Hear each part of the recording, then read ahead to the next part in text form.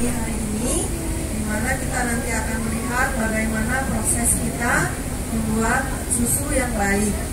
Nah, um, ini sekedar simbolis saja diwakili oleh Alisa. Alisa betul ya namanya?